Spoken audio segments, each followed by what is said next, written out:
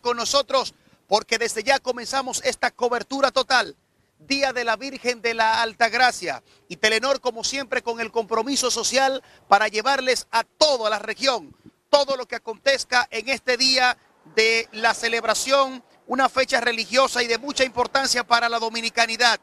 En este momento nos encontramos en la Autovía del Este, una de las calles más concurridas eh, por donde se desplazan muchos vehículos en nuestro país. Estamos en la zona del este, apenas a tres kilómetros ya para llegar hacia San Pedro de Macorís.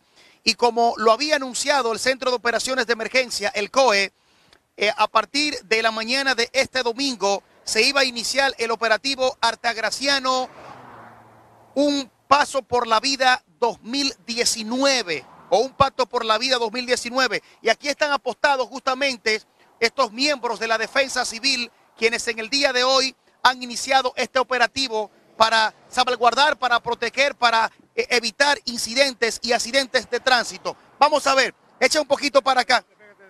Sí. Vamos a ver, me dice, bueno, sí, hablamos ahora mismo, esto es obra pública, ¿verdad? El nombre es suyo, hermano. Braulio Félix Tavera, estamos aquí realizando operativos para en control de los vehículos. Para el control de los vehículos. Eh, sí, para... ¿Cuál, es, ¿Cuál es el objetivo de ustedes específicamente? Me decía de estar aquí. ¿Dónde estamos? Estamos en vivo. Estamos, en... vivo en estos momentos para, para Telenor, Canal 10. Estamos en el kilómetro 3 antes de llegar a San Pedro Macorís. Estamos en la autovía del Este, controlando los vehículos con, con mayor precisión para que todo salga bien. Muy bien, muy bien. ¿Cuántos puntos estratégicos hay en esta autovía? Tenemos siete puntos estratégicos de parte de, de este grupo de nosotros. Por hasta ahora, Haberán más, pero eh, eh, hasta ahora vemos siete, siete brigadas en, trabajo de este, haciendo este... ¿Cuántos hombres están aquí el día de hoy? Eh, tenemos 10 personas.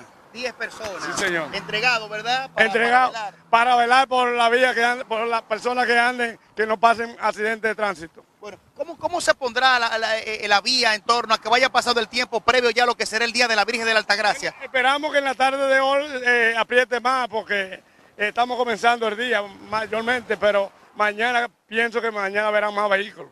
Estaremos aquí también de nuevo. Bueno, muchísimas gracias. Un consejo entonces que usted le dice a todas esas personas que se desplazan de la parte norte también del país a esta parte del este. Que tengan mucho control en, el manejo porque que no tomen alcohol, eh, que mantengan siempre en el, pendiente a las personas que pasen accidentes de tránsito. Bueno, muchísimas gracias a ustedes, bendiciones. Así iniciamos, así nos encontramos, repito, estamos en próximo ya llegar a San Pedro de Macorís y como ustedes pueden observar en estos momentos, miembros del Ministerio de Obras Públicas se encuentran apostados eh, orientando a los conductores que se desplazan por esta autovía del este que conduce hacia los municipios ya de esta región, San Pedro de Macorís y Eigüey, donde muchas personas, muchos feligreses estarán dando cita ya en las próximas horas para venerar, para honrar a la Virgen de la Alta Gracia. Cobertura total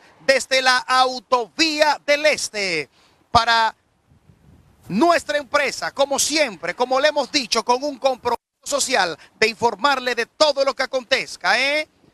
Así que es todo por el momento. Seguiremos en contacto, muchachos. Regreso con ustedes.